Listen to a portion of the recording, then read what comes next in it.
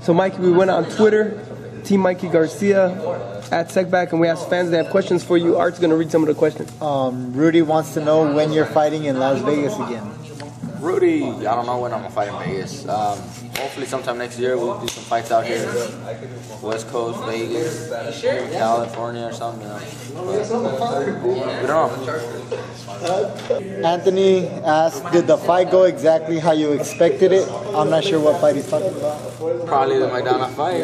I mean, if it's that one, that's the game plan that we had. You know, that's the game plan that everybody here uh, in the team, you know, felt that would work, and it worked. Uh, Tony Contreras, who's the better rapper, the game or 50 Cent?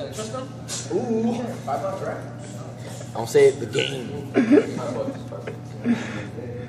Um, Why he and 50 don't get along? I didn't know that. Really?